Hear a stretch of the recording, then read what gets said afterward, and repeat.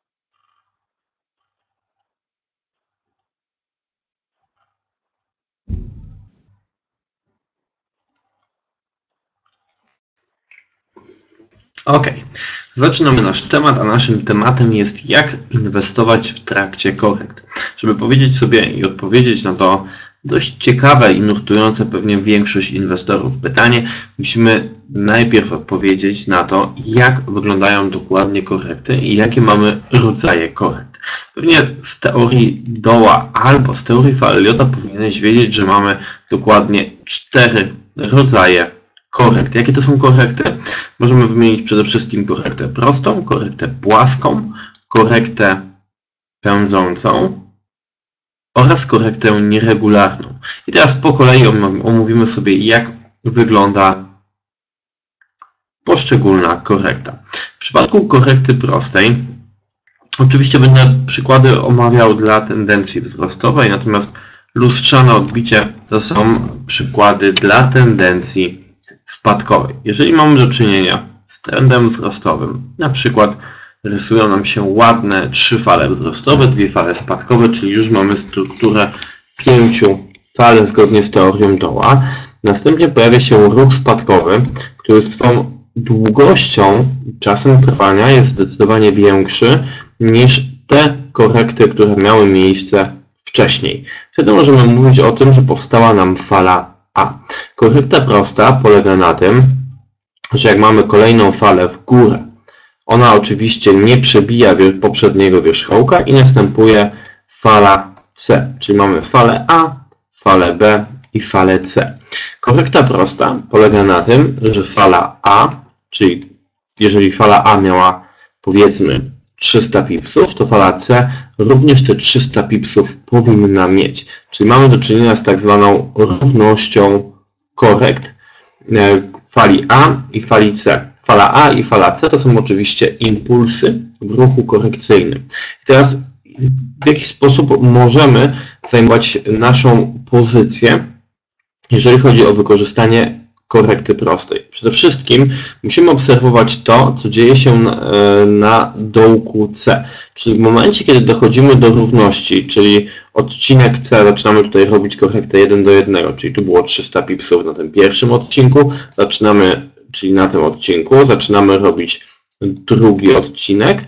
W takim przypadku, gdy ta fala C dochodzi nam do mniej więcej rozmiarów fali A, każdy sygnał do kupna powinniśmy traktować poważnie. Czyli na przykład, jeżeli tutaj mówimy o teorii fal Eliota, liczbach Fibonacciego, to dobrze jest uzupełnić rozegranie tego układu na przykład układem Brace Action, czyli mamy objęcie hossy w tym miejscu, harami, cokolwiek, co będzie nam sugerowało, że dołek jest bliski. I wtedy tutaj dokonujemy tej naszej transakcji kupna, zajmujemy pozycję w oparciu o to, że obstawiamy, że tutaj pojawi się z powrotem impuls zgodny z tym, co poprzedzało powstanie nam tego ruchu korekcyjnego, czyli znowu pojawi się kolejna fala wzrostowa. Witaj Andrzeju, cześć. Jeżeli chodzi o, jeżeli chodzi o, to jest taki pierwszy, najbardziej intuicyjny moment do zajmowania pozycji. Natomiast jest też możliwość spekulacji w przypadku tego typu korekty również na spadki. I taki moment mamy w przypadku, gdy tworzy nam się wierzchołek fali B. E, bardzo często, jak mamy falę A, ten wierzchołek fali B musi wejść głębiej niż 50% tej fali wcześniejszej. To może być 61,8 FIBO, czyli mówimy tutaj o tym punkcie 78,6 FIBO, czy powyżej 80%, natomiast on oczywiście nie może przełamać e, punktu A, wtedy będziemy mieli do czynienia właśnie z tą korektą prostą. Oczywiście jeżeli odcinek C będzie nam się równał odcinkowi E, odcinkowi A. I teraz tutaj oczywiście znowu wrócimy do price action, czyli jakieś objęcie BESY, będzie okazją do tego, żeby spróbować rozegrać układ prospadkowy. I w takim przypadku, jeżeli tu zajęliśmy pozycję w tym miejscu, to oczywiście nasz target powinien wynosić w okolicach przynajmniej tego 1 do 1, czyli odmierzamy sobie tą falę AB na początku od wierzchołeczka fali tej drugiej i mniej więcej tam, gdzie nam wychodzi, powinniśmy, e, wychodzi zasięg 100%, czyli 1 do 1, to tutaj powinniśmy zamknąć pozycję krótką. Bardzo ważny jest timing, czyli wyczucie czasu, dlatego że jeżeli przyciągniemy ten moment, no to niestety rynek zacznie nam uciekać. I tutaj ten, to zagranie typu B jest oczywiście dla osób, które lubią scalping, lubią day trading, ale nie dla osób, które lubią pozycje swingowe. Dlatego, że jeżeli mówimy tutaj o pozycjach swingowych, to oczywiście zdecydowanie bardziej powinniśmy e, szukać okazji do zajmowania pozycji w przypadku e, fali CD. Oczywiście, tak jak, e, tak jak Andrzej piszesz, można stosować zlecenia oczekujące, natomiast to są zlecenia typu buy limit i sell limit. Nie do końca jestem ich zwolennikiem, bo to jest takie polowanie na wierzchołek i dołek i próba e, takiego oszacowania dokładnie, gdzie rynek nam się odwróci i żeby nie złapało nam naszego stopa, wyrzucając nas z rynku. Wtedy mówię bardziej o tych sygnałach typu objęcie hosso, objęcie BSC, bo one mniej więcej już jesteśmy po fakcie utworzenia się lokalnego wierzchołka bądź lokalnego dołka, albo po fakcie już zasygnalizowania tego momentu. Natomiast dla osób, które lubią scalping i handlują za pomocą zleceń typu buy limit albo sell limit, to oczywiście w tym punkcie C możemy no już nawet, gdy nam się tworzy ten wierzchołek w tym miejscu, już wtedy możemy wystawić sobie zlecenie oczekujące na kupno w okolicach tej korekty prostej 1 do 1. Tylko, że my o tej korekcie prostej wiemy już de facto po fakcie, czyli wtedy, kiedy już to odbicie nastąpi. Natomiast tutaj może równie dobrze pojawić nam się korekta nieregularna, albo korekta, e, korekta pędząca nie, ale ta korekta nieregularna, która nas to trochę z siodła może niestety, ale wyrzucić. I tu jest e, i tutaj dobrze posługiwać się tym, e, co nam mówi przeszłość, czyli jak mamy taką sytuację, warto zobaczyć wcześniej, jak kształtowały się lokalne dołki i lokalne wierzchołki. I na tej podstawie symulować, gdzie ten punkt D, czyli gdzie ten dołeczek może nam się może nam się zatrzymać. Dobrym potwierdzeniem są te poziomy horyzontalne wcześniejsze. To jest takie wzmocnienie sygnału płynącego nam z liczb FIBO, w szczególności jeżeli jesteśmy do liczb FIBO, delikatnie mówiąc, nastawieni e, sceptycznie. E, niestety w przypadku tego typu układów nie jesteśmy w stanie stosować zleceń oczekujących typu stop, czyli buy stop i sell stop.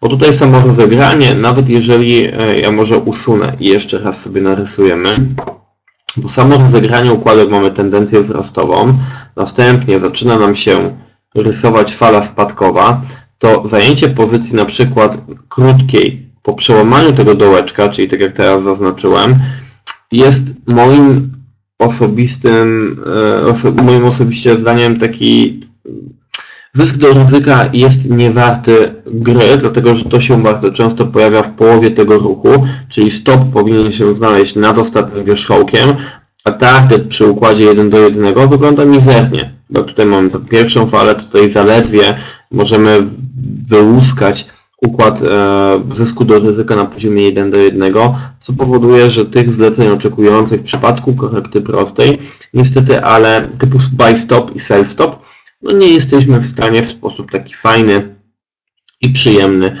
zastosować. Teraz tak, jeżeli nam się tutaj pojawiła e, korekta prosta, no to sytuacja jest dość łatwa. Dość łatwa dlatego, że patrzymy po tych dołeczkach, gdzie nam się dany ruch może zatrzymać. Zdecydowanie gorzej jest wtedy, kiedy mamy do czynienia z korektą pędzącą, czyli mamy do czynienia na przykład z tendencją wzrostową, która wygląda nam na przykład w ten oto sposób. Następnie pojawia nam się ruch korekcyjny, który jest ruchem fala spadkowa, fala B przebija ten wcześniejszy wierzchołek, Czyli nam sugeruje trochę, że cały czas mamy do czynienia, cały czas mamy do czynienia z e, trendem wzrostowym. Natomiast to już jest, to już jest e, sytuacja, gdy mamy do czynienia z korektą. I to bardzo często wychodzi wtedy, kiedy zaczynamy sobie liczyć, e, zaczynamy sobie liczyć e, fale tym trendzie wzrostowym zaczyna nam pojawiać się szósta, siódma, ósma. Co oczywiście zgodne z teorią Fareliota nie jest. I tutaj mamy właśnie te układy, gdzie wybijany jest poprzedni wierzchołek, nie schodzimy poniżej wcześniejszego dołka, później rysuje nam się z powrotem tendencja wzrostowa. Tutaj oczywiście też wchodzą nam zależności związane z liczbami Fibonacciego, e, czyli również fala ta pierwsza korekcyjna A, ja może zaznaczę, tu mamy falę B, albo i tu mamy falę C, albo możemy odcinkami, że tu mamy odcinek AB, tu mamy odcinek BC i tu mamy ten ostatni odcinek CD. To oczywiście fala A może się równać fali C i dalej będziemy mieć do czynienia z korektą pędzącą, dlatego że fala B wybija nam ten wcześniejszy wierzchołek. To sytuacja którą powinniśmy rozgrywać trochę tak jak zwykły trend, czyli dalej utrzymujemy się w tendencji wzrostowej i te wszystkie sygnały, z których korzystamy w przypadku zajmowania pozycji o zwykłe, zwyczajne e, zajmowanie pozycji zgodne z trendem, tutaj również mają swoje zastosowanie, czyli nie musimy zbytnio kombinować, żeby coś z tego wyciągnąć, bo samo przebicie punktu wierzchołeczka poprzedniego może stanowić sygnał do kupna i to, że ten dołek wyhamuje nam przed tym dołkiem wcześniejszym i pojawi się sygnał do kupna, również możemy spokojnie, śmiało traktować jako ten moment do rozegrania tego układu. A sam ten wierzchołek, który nam się pojawił tutaj, to jest nic innego jak ten sam, ta sama próba rozegrania lokalnego wierzchołka, jak w przypadku tych fal wcześniejszych, czyli tych fal zgodnych z tym e, trendem wcześniejszym. I to rozegranie w przypadku korekty pędzącej nie jest w żaden sposób, nie wiem, powiedzmy sobie, e, układem, który może stanowić dla nas w pewien sensie problem. E, fajnym układem jest korekta typu korekty płaskiej, czyli znowu mamy do czynienia z tendencją na przykład wzrostową, pięciofalową i następnie pojawia nam się ruch korekcyjny A, a teraz zaznaczmy to w inny sposób, tak jak mamy punkt A, punkt B, punkt C i następnie mamy punkt D. Tutaj ten punkt B nie załadniał, teraz już będzie to bardziej widoczne. I z tego miejsca rozpoczyna nam się tendencja wzrostowa. I tutaj oczywiście część, część z nas e, powinna rozpoznać takie układy klasyczne, czyli na przykład układ trójkąta symetrycznego, który w tym przypadku ja osobiście rozrysowałem. E, I to jest taka, taka fajna rzecz, gdzie nam się nawet nie tyle ścierają, co łączą podobne teorie, mówią nam o tym samym, bo ruch korekcyjny oczywiście zwiastuje, e, oj, zwiastuje e, wybicie w górę i podobnie jest w przypadku formacji trójkąta symetrycznego, bo jest to układ techniczny zapowiadający kontynuację trendu i to też na, na, na kanale YouTube'owym FX Maga zostało przeze mnie dokładnie opisane. E, jak rozgrywać korektę płaską? Tutaj oczywiście wchodzą liczby FIBO, czyli punkt C tam może dojść do 61,8, 76 albo powyżej 80% fali AB, a fala CD, czyli ta trzecia fala w układzie korekcyjnym będzie na przykład znosiła falę BC o 61,8 albo 78,6 na przykład. Ważne, żeby to było przynajmniej na poziomie 50%, a nie 38,2, bo wtedy te linie ograniczające naszą korektę będą delikatnie mówiąc ciężkie do rozegrania. Taką sytuację, kiedy mamy do czynienia z korektą prostą, E, korektą płaską, przepraszam. E, to jest bardzo łatwa sytuacja do rozegrania, bo to jest nic innego jak trójkąt. Czekamy na impuls, czyli na moment wybicia z tego trójkąta i tutaj już prędzej jesteśmy w stanie zastosować e, zlecenia oczekujące typu stop, a więc zlecenia typu buy stop, zlecenia typu sell stop. To wszystko oczywiście tutaj wchodzi w grę. Zlecenia typu sell stop oczywiście mam na myśli wystąpienie tendencji E, tendencji spadkowej. W przypadku buy stopa, tak jak mamy to tutaj, e, czyli jeszcze zaznaczmy sobie ten moment, gdzie i kiedy powinniśmy tą naszą pozycję zająć. To jest ten moment wybicia. E, I tak tylko dodam, że wybicie powinno być istotne. Istotne wybicie jest wtedy, gdy linia zostanie naruszona przynajmniej na poziomie kilku pipsów, jeżeli mówimy o interwale H1. Jeżeli mówimy o niższych interwałach, to tutaj oczywiście skrupulatność jest wskazana bo już nawet naruszenie o kilka punktów będzie stanowiło sygnał do tego, żebyśmy tą pozycję w oparciu o korektę płaską zajęli. E, to jest taki książkowy przykład, gdzie mamy do czynienia z dwoma liniami ograniczającymi, opadającymi pod tym samym kątem, czyli ta linia górna i linia dolna, one nam tworzą taki trójkącik ładny, symetryczny. Korekta płaska może przybierać również postać innych trójkątów, takich jak trójkąt zwyżkujący oraz taką jak trójkąt zniżkujący. Natomiast w przypadku, gdy dzieje nam się coś takiego jak i znowu usuniemy i narysujemy od nowa, bo niestety nie jestem w stanie usuwać po kolei tych linii wstecz, jak mamy do czynienia z tendencją wzrostową i następnie pojawia nam się sytuacja, gdy amplituda wahań z każdym kolejnym ruchem zaczyna nam rosnąć, czyli wybity jest poprzedni, dołek, poprzedni wierzchołek i wybity jest poprzedni dołek. Tu mamy powiedzmy falę A, falę B, punkt B, falę C, punkt C, przepraszam, i punkt D, delikatne chyba przeziębienie więc mogę się delikatnie mylić, ale to śmiało zgłaszajcie, bo przejęzyczenia e, mogą mieć, mogą mieć miejsce, chociaż mam nadzieję, że niezbyt często. I teraz tak, jeżeli popatrzymy na ten układ trzyfalowy, falę A, falę B i falę D, to tutaj one nam utworzą układ trójkąta rozszerzającego się, czyli mamy sytuację, gdzie rynek jest wyrzucony z punktu równowagi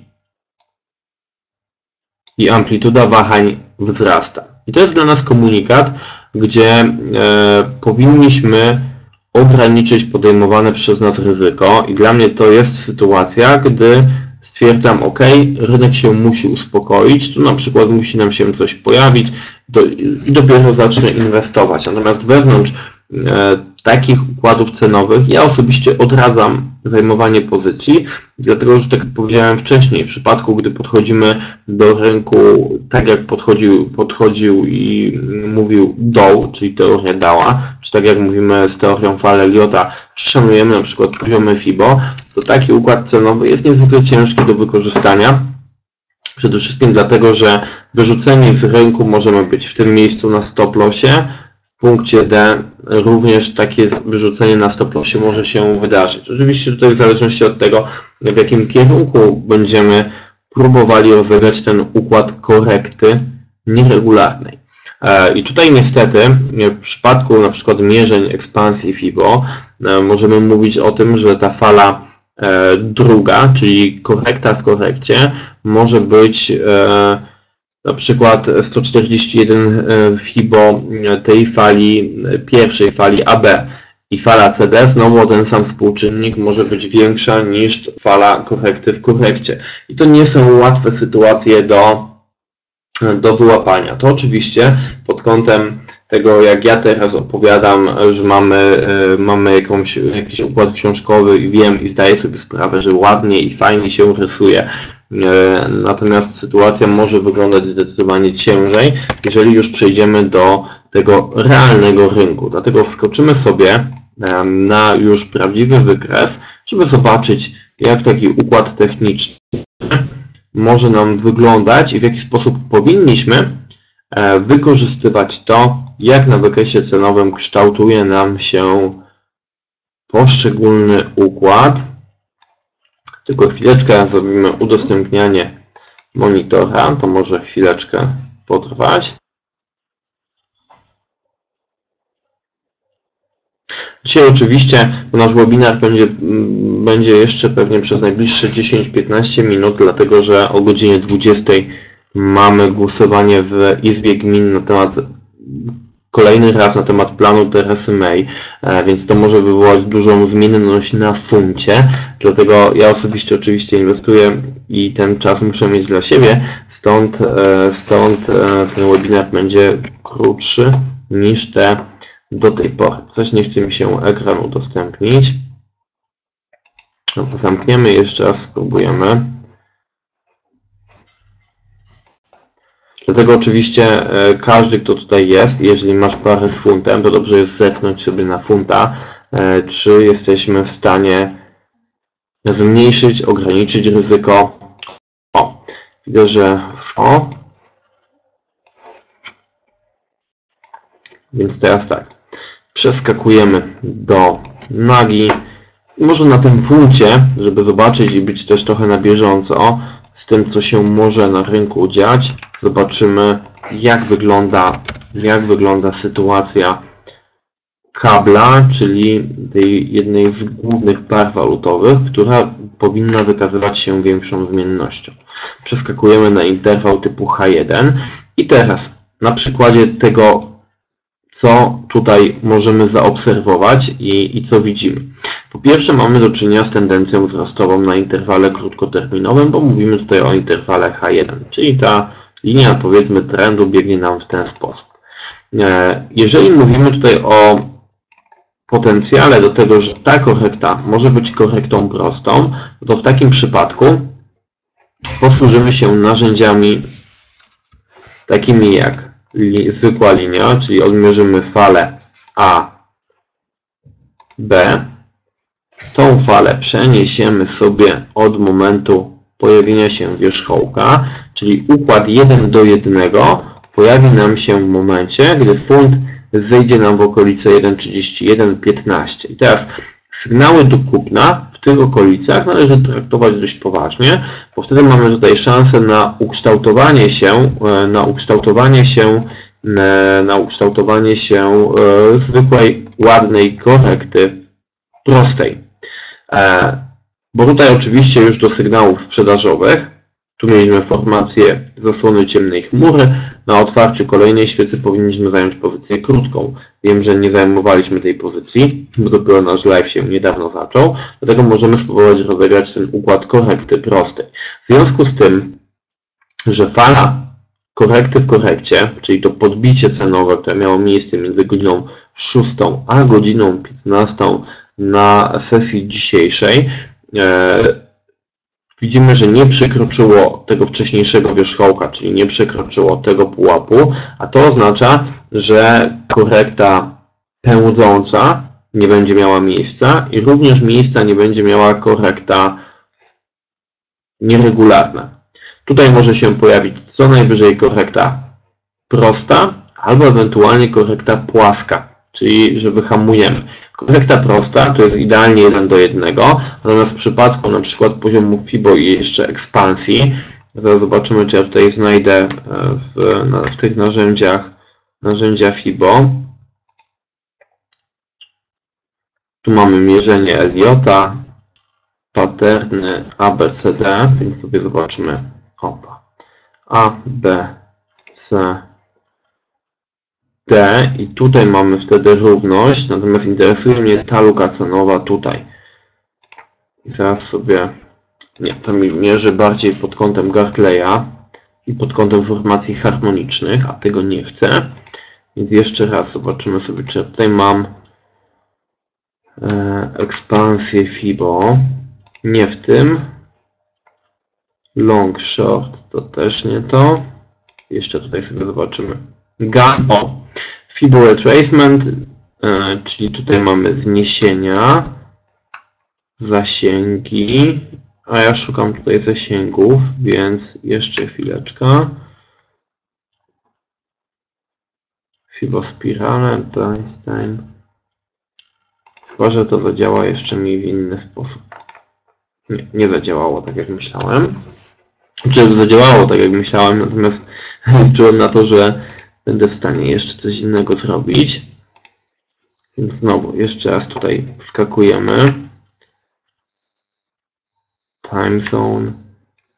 Hmm. Dziwne, że tutaj nie mamy nie widzę. Może, może w przypadku jakiegoś tam to jest jakiś standardowy, standardowy trading view i tego w tym układzie nie mamy. Natomiast e, jeżeli tutaj ta fala była na poziomie od 1.32.10, 1.32.15 do 1.31.30, co oznacza, że było to około 80, mm, było to około 80 punktów.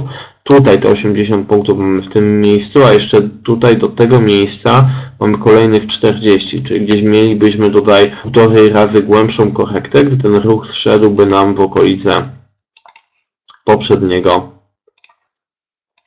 istotnego poziomu horyzontalnego. Tutaj widzimy lukę cenową, lokalny dołek, lokalny wierzchołek, więc te okolice mogą być dla rynku w pewien sposób newralgiczne. I wtedy próbujemy dokonywać pozycji długiej.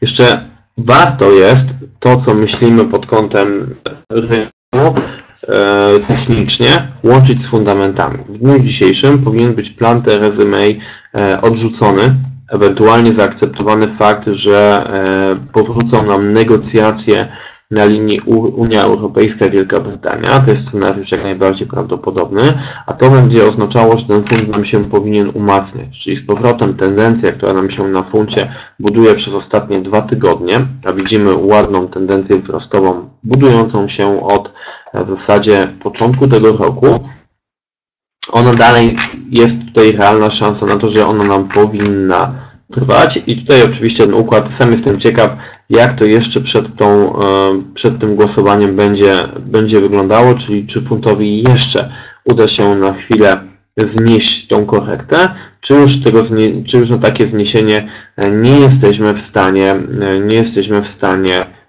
liczyć. Zobaczę na czat, nie mam żadnych komentarzy, więc wracam z powrotem do wykresów. Zobaczymy sobie jeszcze złoto tak żeby pokazać nie tylko przykłady walutowe, ale również surowcowe. Złoto, które jest w gazie. Złoto, które wygląda bardzo obiecująco, bo znowu, e, gdy popatrzymy, może nie na interwał 30-minutowy, ale interwał dzienny, to zauważymy, że mamy bardzo ładne układy, które zapowiadały nam tą falę wzrostową, natomiast bardziej skupiłbym się na tym, co tutaj nam się może wydarzyć. Czyli przeskoczymy sobie z powrotem na interwał typu H1. I teraz tak. E, w przypadku tej sytuacji możemy mówić cały czas o, tenden o tendencji wzrostowej, gdzie nie mamy zasygnalizowanej możliwości zajmowania pozycji krótkich, przynajmniej na ten moment. Co oznacza, że na tym układzie cenowym nie jesteśmy w stanie, czy na tym interwale nie jesteśmy w stanie nic rozpisać. Ale w przypadku korekt bardzo często schodzi się na niższe interwały, typu 30-minutowy, a nawet interwał 15-minutowy. Teraz ja, to nie są moje interwały, od, od razu się przyznam, bo jak, jak dobrze mnie znacie, to wiecie, że zajmuję pozycję głównie w ujęciu tym średnioterminowym, więc na przypadku interwału M15 widzimy, że mamy do czynienia z korektą. Korektą, która ma charakter korekty nieregularnej, czyli ona nam przybiera kształt trójkąta rozszerzającego się. To powinien być oczywiście komunikat do tego, żeby delikatnie odejść od tego wykresu, poczekać aż się nam sytuacja ustabilizuje. Andrzej zadaje, zadał pytanie, co myślę o zastosowaniu układów fal na wykresie M15, aby złapać trend wykresu D1.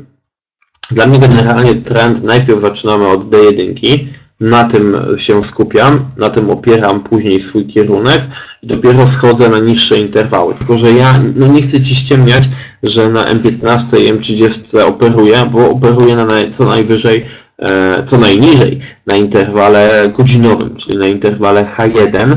E, natomiast mm, natomiast e, tak jak mówię, dla mnie celem jest to, żeby przechodzić na jak najwyższe interwały i to jednak to jest z D1 schodzę na interwał sygnalny H1 niż to, że mam układ pięciofalowy na przykład na M15 i dlatego stwierdzam, że na tym interwale dziennym coś się powinno wydarzyć. Ja wnioskuję w odwrotnym kierunku, e, bo dla mnie to jest po prostu logiczne, natomiast absolutnie nie neguję, nie neguję Twojego podejścia, może się okazać ono po prostu zwyczajnie w świecie skuteczne. E, nie wiem na ile je testowałeś. E, ja tego Twojego podejścia e, nie testowałem, natomiast chwilę działałem na M15 i to po prostu spowodowało, że trochę mi wykresy obrzydły. Stąd też po prostu zwyczajnie w świecie odpuściłem sobie tam handel. Padłem funta do języka japońskiego, bo on bardzo często i on lubi, lubi korekty. Również jesteśmy na interwale H1 odciągnijmy go sobie do tyłu. Widzimy, że mamy do czynienia z tendencją wzrostową, co oznacza, że te układy, które nam się tutaj tworzą, mogą być ruchem korekcyjnym. Mamy falę w dół, czyli to by była fala AB, to by była fala BC i kolejna fala CD mogłaby być falą spadkową. W przypadku, gdy mielibyśmy do czynienia z korektą prostą, czyli przenieślibyśmy sobie to od wierzchołka, to kurs powinien nam dojść do tego pułapu. Ja bardzo lubię tego typu układy, dlatego że pokrywają nam się fajnie z poziomami, które są poziomami horyzontalnymi i dla rynku są po prostu poziomami, które widzą nie tylko osoby handlujące w oparciu o korekty, czy to prostą, pędzącą, to już mniejsza z tym, natomiast tutaj większa ilość inwestorów może zareagować. I w przypadku funta do jena może być taka sytuacja, natomiast też nie możemy pomijać układu, że zamiast korekty prostej może nam się pojawić jeszcze jeden typ korekty, a więc korekta typu korekty płaskiej, która przebiegałaby w ten oto sposób, czyli byłby to zwykły trójkąt symetryczny. W przypadku korekty prostej zajęcie pozycji byłoby w okolicach 143,20. W przypadku korekty płaskiej wyłamanie z trójkąta, a więc gdzieś okolice 144,30. No w zależności od tego też jak dokładnie będziemy sobie to wyznaczali, e, tak to będzie mniej więcej wyglądało. Przełamanie, tak jak powiedziałem wcześniej, im niższy interwał, tym oczywiście e, mniejsze przełamanie jest istotne, mniejsze przełamanie oznacza że doszło do lokalnego wybicia. Natomiast e, generalnie dla mnie na interwale H1 kilkupipsowe naruszenie poziomu jest już wystarczające do tego, żeby zajmować pozycję. E, I to jest mniej więcej taki sposób bardzo bezpieczny rozgrywania układów cenowych. Natomiast ja nie ukrywam, że po prostu podejście swingowe bardzo często jest właśnie takim podejściem bardziej, e, bardziej zachowawczym. Tak wygląda sytuacja na interwale 30-minutowym. Specjalnie przeskoczyłem na te niższe interwały, e, bo one oczywiście w dużym stopniu będą nam pokazywały czy odzwierciedlały e, tych przykładów po prostu będę miał więcej niż na interwale, niż na interwale dziennym. Tutaj widzimy, że cały czas jesteśmy w tendencji spadkowej i tutaj ta strukturka, która ma miejsce e, i kształt ruchu wzrostowego, widzimy, że ona jest w zupełności nawet nie jesteśmy w stanie wyznaczyć sobie korekt, co oznacza, że jednak znajdujemy się w tej tendencji spadkowej. Z perspektywy metody Overbalance bardzo fajnie jest łączyć techniki, e, czyli jak mamy najgłębszą korekta, widzimy, że to była dokładnie ta, więc jak sobie wyznaczymy, to z perspektywy overbalance przełamanie pułapu 142,67 oznaczało wygenerowanie sygnału do zajmowania pozycji długich. I zauważmy, że rzeczywiście w tym miejscu pojawił nam się mocniejszy impuls wzrostowy, więc ta korekta, która może mieć miejsce na tym niższym interwale, na H4 już jest ona ładnie widoczna, może zejść nawet uzupełnić lukę i możemy podejść w okolice 142,71 i również w tym miejscu będziemy mogli mówić o tym, że mamy do czynienia z mm, układem cenowym mówiącym o, e, o dalej korekcie prostej, z tym, że ta fala CD nie będzie 1 do 1 z falą AB, ale również żeby to nie oznaczało też takiego podejścia, że, które jest moim zdaniem błędne, że jak przełamujemy 140-30, dostajemy sygnał do sprzedaży, bo korekta będzie głębsza niż tylko i wyłącznie korekta prosta. To jest trochę naginanie, naginanie reguł i na dłuższą metę e, przynajmniej ja lepszych wyników z tego tytułu nie osiągałem, dlatego wydaje mi się, że rozsądnym jest po prostu powiedzenie, żeby podchodzić do tego typu korekt ze zdecydowanie większym dystansem. Mamy 19.35, więc ja się już przygotowuję do handlu, jeżeli chodzi o funta brytyjskiego. E, Wiem, że to było krótkie spotkanie, ale mam nadzieję, że już teraz nie będziesz mylił, e, mylił poszczególnych korekt i będziesz próbował przynajmniej te korekty dostosować do własnej strategii. Mam nadzieję, że nie przeszkadzał mój głos, który jest delikatnie, e, delikatną chrypkę mam błyskoziębiony. Natomiast tak, Andrzeju, bo tutaj niestety tylko jeden uczestnik wykazał się, wykazał się aktywnością, więc pięknie dziękuję Ci za aktywność, a wszystkim Wam życzę udanego handlu i pamiętajmy, około godziny 20, najprawdopodobniej wyniki głosowania około godziny 20.10, e, więc tutaj pary z funtem brytyjskim mogą nam się mocniej zachowywać, a jutro o mniej więcej tej samej porze, czyli około godziny znowu 20, mamy w OMC ustalenie stóp procentowych, e, więc tutaj również, tylko w tym przypadku kursem dolara może potrząsnąć. Jeszcze raz, udanego handlu, trzymajcie się ciepło i do usłyszenia na kolejnym spotkaniu.